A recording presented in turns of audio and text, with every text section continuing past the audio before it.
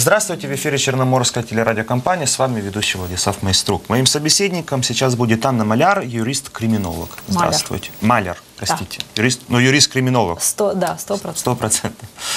Вот 5 ноября, я просто чуть-чуть так, предысторию, Служба безопасности Украины сообщили о задержании Елены Лукаш. В тот же день Елена Лукаш сказала, что ну, зачем меня было задерживать? Я жила в Киеве полтора года. Она выразила недоумение, почему она вообще была в международном розыске, когда она находилась в Киеве.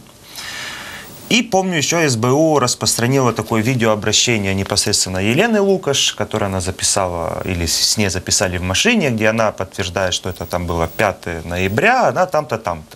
Ну, это мне, конечно, напомнило вот этот вот эпизод, когда террористы дают заложникам еще бы газетку в руки, да, скажите, кто вы, что вы, и что с вами все хорошо, и какие требования к обратной стороне. Но никаких требований Елена Лукаш тогда не озвучивала.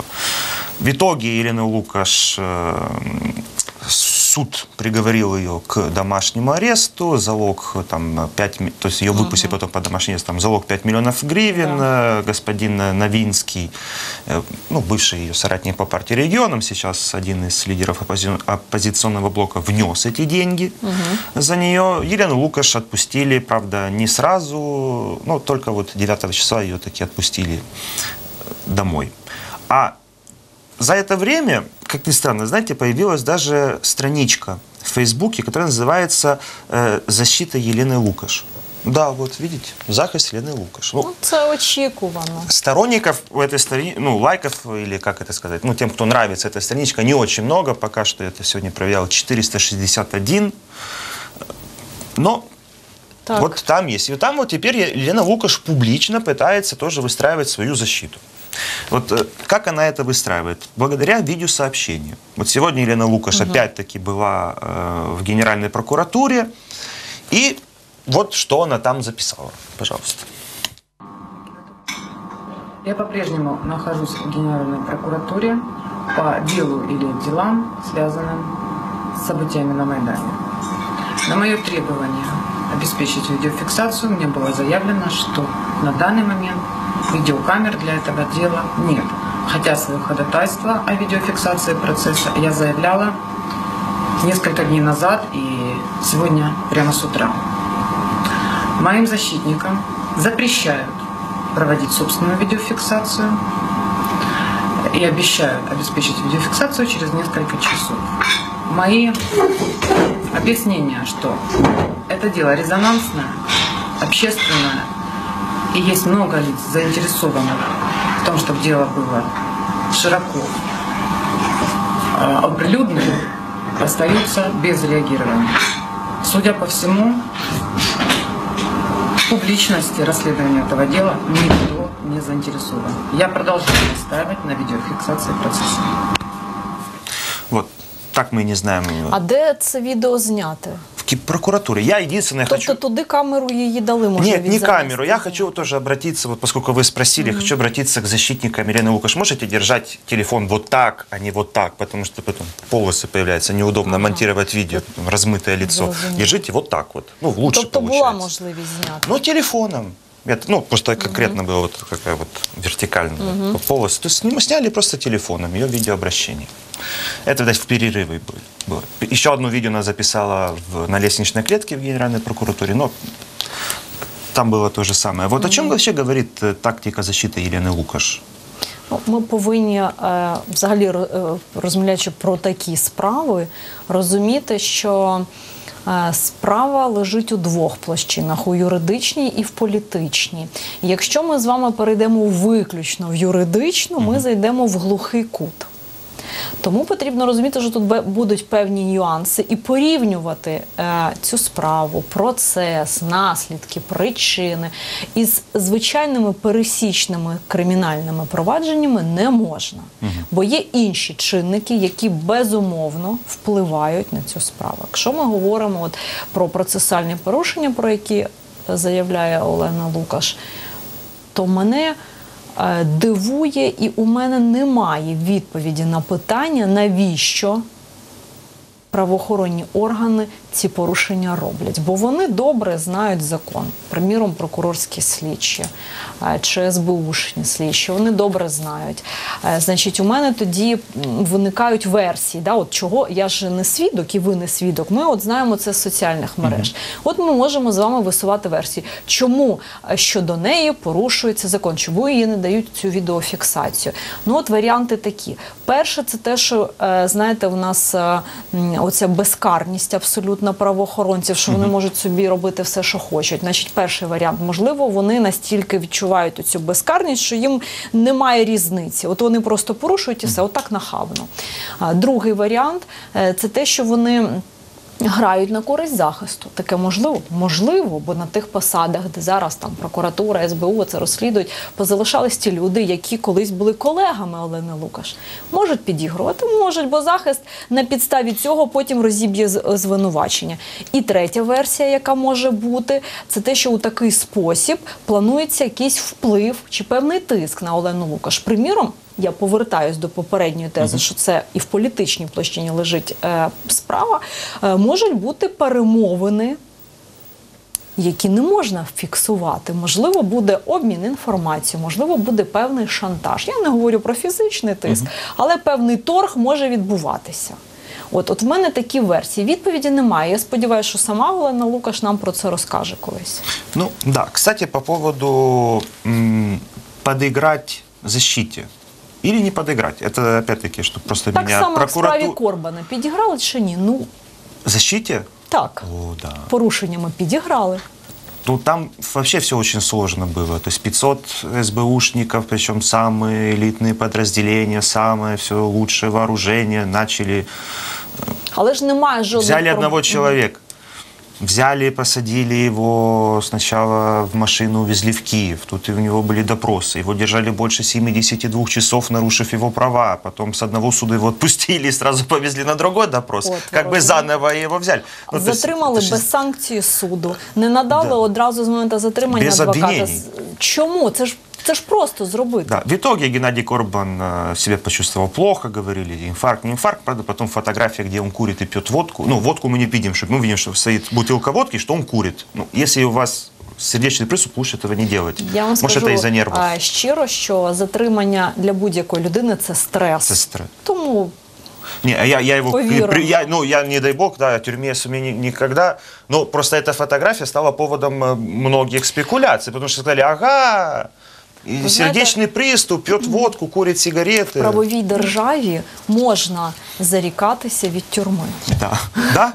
Так. Ну, я тогда не Але буду. через те, що ми не правова Мы в держава, Украине ми живем. змушені не Да, К зарікатися. сожалению, да. Вот, по поводу вот подыграть э, защите. Вот есть Такой еще один персонаж эпохи Януковича, и не только Януковича, всем хорошо известный, Ан- Андрей Портнов. Вот он заканчивал свою политическую карьеру в Украине, э, будучи замглавы администрации президента. Он тоже вошел в санкцион- в санкционный список, то есть Украина по- попросила от Евросоюза, чтобы его туда включили.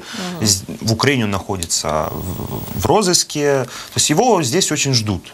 Он, конечно, не спешит приезжать в Украину, но живет в Москве, как сам говорил, но и по Европе тоже может ездить. А недавно вообще в Люксембурге он выиграл суд против Евросоюза, не против Украины, против Евросоюза из-за, именно из-за того, что его вписали в санкции.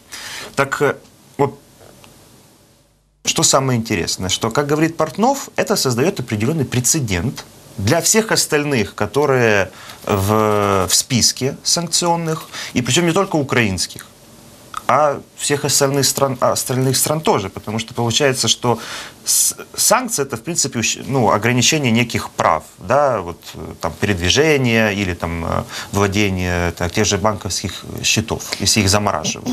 Так вот, Портнов говорит, и в принципе это решение суда, что говорит, что э, суд признал это решение политическим, таковым, который при- противоречит оп- ну, базовым э, нормам того же Евросоюза, да, вот ну как от- Ну, Я читала непосредственно це ответственность. рішення, воно є в інтернеті, сам Портнов його, до речі, виклав. Е, є французькою мовою, але немає проблем зараз перекласти це. Там невеличке на одну сторіночку рішення. І я слухала пряму мову самого Портнова. І Там є, я спробую зараз е, зрозумілою мовою розповісти це нашим глядачам, бо там є такі юридичні тонкощі. Сам Портнов говорив про таке, е, що на нього не могли накладати ці санкції, оскільки вони накладені як аре, як замороження певних активів і майна, а в нього такого немає. Тобто питання незаконність чи неправомірність рішення е, накладення заморожування майна, тому що немає майна, ну фактично десь може є, але фактично немає. Так чи все-таки те, що його вина не доведена? Отут для мене відповіді ще немає. Ну, Портнов Тут ми- говорит как раз второй, что второй вариант, что просто не доказано, в принципе, его Це причастность він сказав вже потім. А його перші коментарі, які також є в інтернеті, є на його сайті, е, якраз говорять про те, що наклали, тому що мусило бути майно, його не виявилось. В самому рішенні е, написано, що зняті ну там не всі санкції, там йдеться про заморожування, значить йдеться розморожування Розморожування, е, тих активів, яких в нього не виявилось.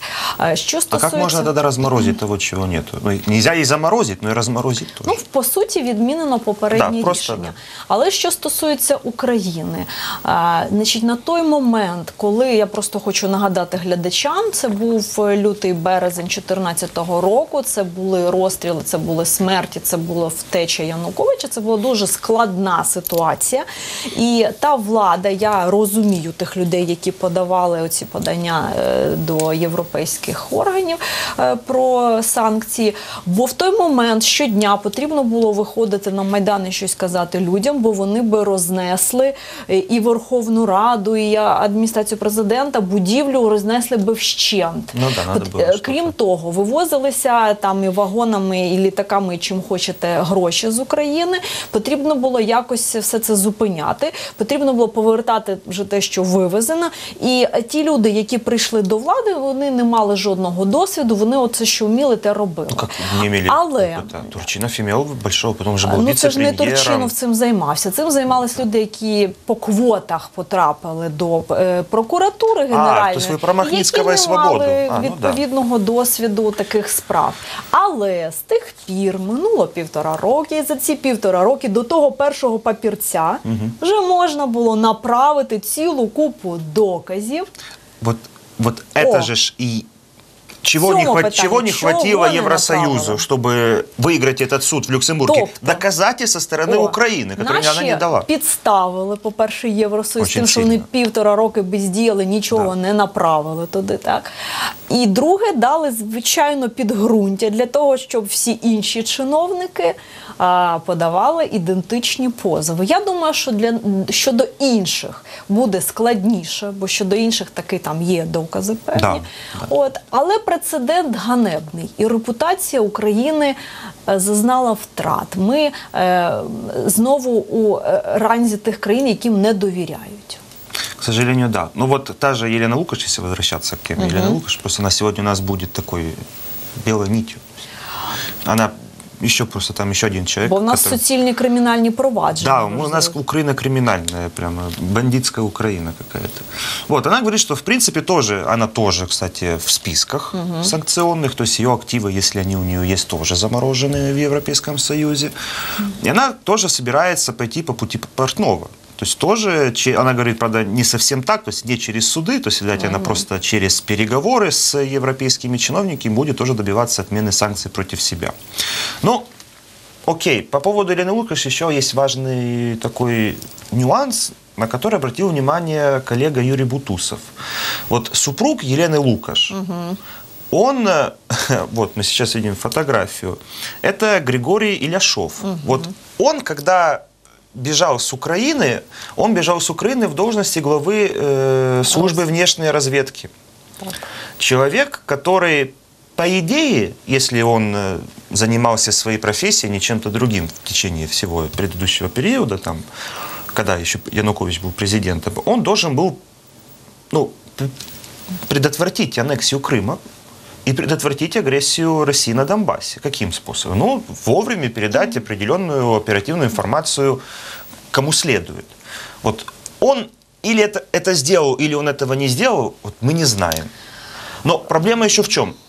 он вообще не интересен правоохранительным органам Украины. Насколько вот тут Мене, говорили знаєте, люди, он в Крыму был, потом понял, что за ним никто его ничего не, ну, его не ищет, он вернулся в Киев. Так, мене дивує е, одне, що наша влада чомусь переслідує своїх, вибачте, за це вже слово попередників, е, переслідує за якісь корупційні справи, за те, що вони там щось із бюджету вимивали. Але чомусь їх не переслідують за посягання на основи національної безпеки України, За що є абсолютно очевидним. Є, е, по-перше, те, що про Крим ви сказали, це абсолютно вірно. Те, що про Донбас, це абсолютно вірно. Через бездіяльність тих посадових осіб, які зобов'язані були тоді приймати рішення, ми по суті маємо окуповані території. Но вот скажите, вот как юрист, да, вот, э, м, вот имеет перспективы вот добиться в суде справедливости по отношению к господину Иляшову? Ну, он, конечно, может быть ни в чем и не виноват. Ну, презумпция невиновности все же, как-никак.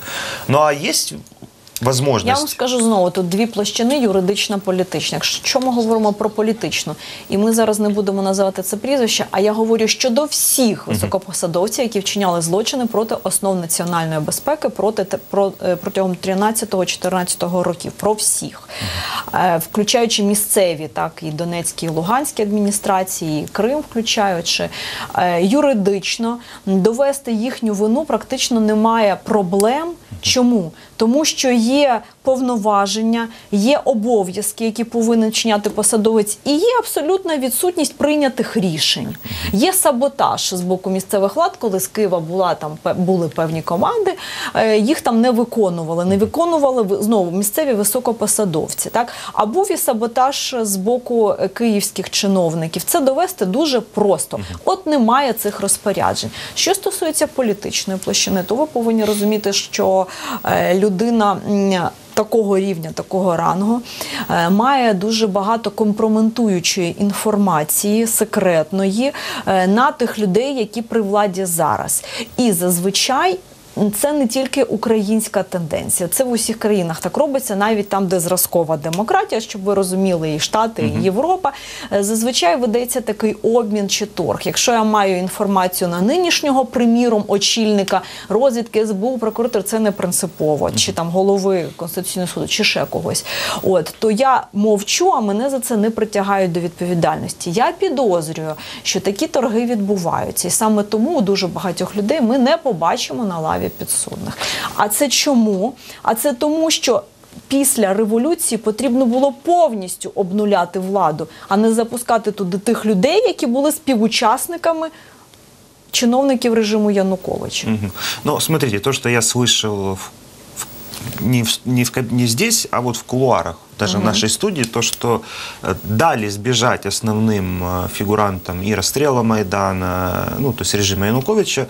Почему? Потому что те в случае там, судебных разбирательств, а они были бы по-любому, то есть никто бы не терпел бы, Майдан бы не стерпел бы, что Янукович себе сидит в Межигорье просто, да, и молчит. Правильно? Что были такие, есть такие подозрения, что между нынешней властью и предыдущей велись определенные переговоры, которые были не на пользу участников Майдана, скажем так. Та не лише перемовини. Ну, торги там- йшли, торги так, разного там же і рода, гроші і вивезли, і, деньги. з рахунків знімали. І це не просто перемовини. Уявіть, я гіпотетично. Е, Керівник якогось відомства серйозного залишає Україну. Але залишається його заступник. Е, Хіба там повинні? Він каже там Коля, Петя, Вася, твої 10% мені на один день зніми арешт, я кошти вивезу і да, все. Ну це просто вирішить. Я думаю, що навіть не просто перемовини, а просто такі телефонні дзвінки. То були. все по-простому было, Так. даже так. Ну, тоже может быть. Ну, хотя там, то, что мне говорили, что было, ст- был страх именно со стороны вот, тех, кто заняли самые важные до- должности, что их могут неправильно понять, потому что, видать, там же ж какие-то торги шли на Але Банковой дуже в самые дивно, е, критичные чому моменты. оцей майданівський генеральний прокурор так швидко пішов з посади. От Хай би він ці всі речі пояснив.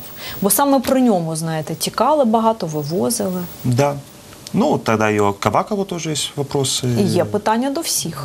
А с- а Кавакова есть вопросы по поводу Одессы большие. Как так Фучиджи после того, что случилось 2 мая, потом был назначен главой области, мили- ну, главой областной милиции, и 4 числа с помощью того же Фучиджи сбежали всех, кого из СИЗО Одессы, почти все, кого задержали тогда на, на горячих следах. После чего исчез и сам Фучиджи.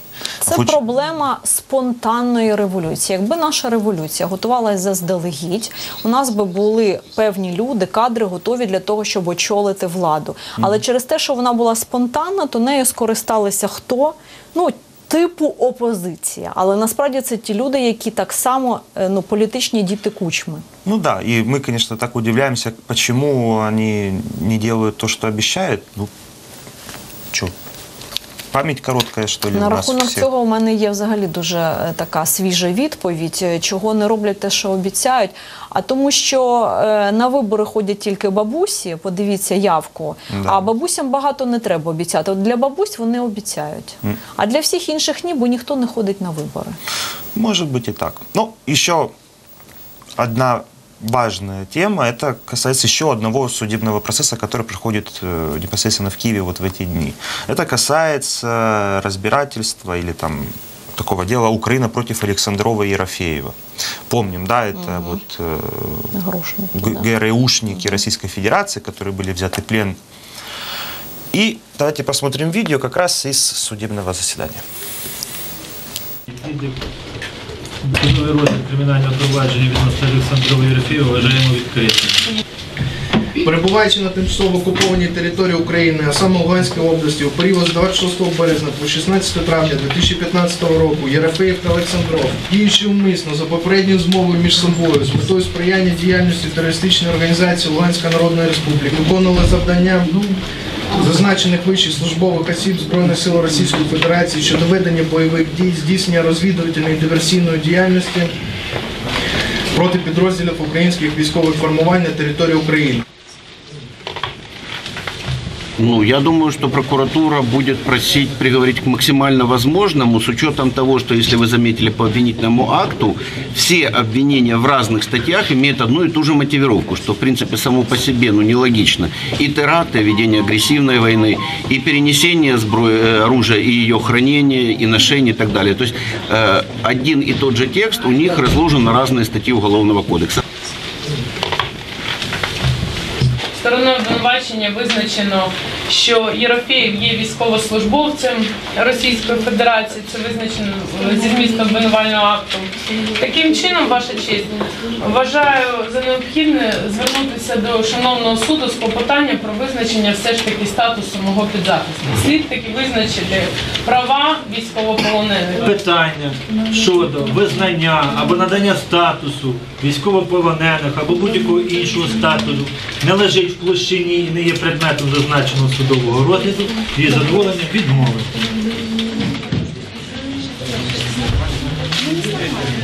Сергій, На каком основании считают меня военнослужащим? Цього не можу зараз сказати. Це я вам лише відмітив те, що зазначено в обвинувальному акті. согласен. Тобто ви не визнаєте себе винними за статтями, які, по яких вам пред'явлено обвинувачення. Вірно я зрозумів? Да. Ні по одній статті, Да. які я оголосив. Зрозуміло. Зробити його об'єктивним. Ну вот мы видим, что господин Ерофеев говорит, а на каких основаниях вы говорите, что я военнослужащий? Ну, я не знаю, смотрит ли он нас, но те, у кого появились сомнения, а вдруг он правда не военнослужащий, вот посмотрите это. Я гражданин России Ерофеев Евгений Владимирович. Проживаю в городе Тольятти. Я являюсь военнослужащим Российской Федерации. Мое воинское звание капитан, должность командир группы. Служу в 3-й отдельной гвардейской бригаде. Место дислокации город Тольятти. Я, конечно, могу понять, опять, опять повторяюсь, почему от меня отказались как от военного, но я еще пока гражданин своей страны. Как бы хотя бы пока от гражданина, как от меня не отказывайтесь. Знаю точно, что, ну не то, что знаю, догадываюсь, предполагаю, что там вряд ли скажу спасибо за все. Как бы меня предупреждает то, что у меня там, возможно, будут проблемы. Кто предупреждает?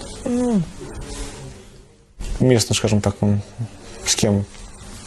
Ну, неважно, в общем, предупреждают. Вот такие дела происходят. Ну, ви повинні зрозуміти- зрозуміти, що в процесі зазвичай в кримінальному, коли е, в справу вступає адвокат, е, підозрюваний е, змінює свої покази, бо там з'являється якась нова стратегія захисту, там ще щось. Це класична історія, просто наша увага надмірно прикута до цієї справи, зрозуміло. От, але це зміна власних свідчень, це дуже часта справа в е, кримінальному судочинстві. И как они, вот, э, окей, ну вот возьмем даже не конкретно этот эпизод, потому что, ну, посмотрим, как суд будет разбираться. Ну, наверняка в, в в практике судебной, мировой есть аналоги.